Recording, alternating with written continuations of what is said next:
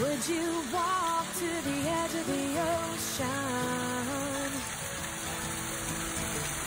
just to feel my giant sand?